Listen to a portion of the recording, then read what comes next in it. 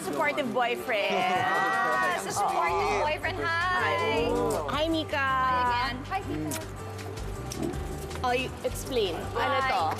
Ito po yung perfume line na sinasabi ko sa'yo that I started. Um, it's brand new. Um, we're launching this month. Okay, so what's this? Um, that's one of the fragrances for female. Magkano to?